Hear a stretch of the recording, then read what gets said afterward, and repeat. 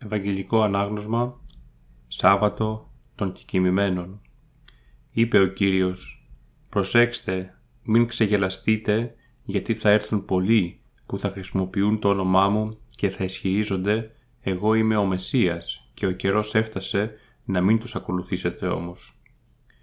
Όταν πάλι ακούσετε για πολέμους και αναστατώσεις μην τρομοκρατηθείτε γιατί αυτά πρέπει να γίνουν πρώτα δεν θα ακολουθήσει όμως αμέσως το τέλος. Θα παρουσιαστούν σημάδια στον ήλιο, στο φεγγάρι και στα αστέρια.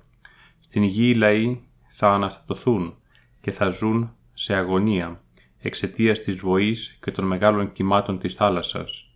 Οι άνθρωποι θα κοντεύουν να πεθάνουν από τον φόβο και από την αγωνία για αυτά που πρόκειται να συμβούν στην οικουμένη, γιατί οι ουράνιες δυνάμεις που κρατούν την τάξη του σύμπαντος θα διασαλευτούν Τότε θα δουν τον Υιό του ανθρώπου να έρχεται πάνω σε σύννεφο με δύναμη και με μεγάλη λαμπρότητα.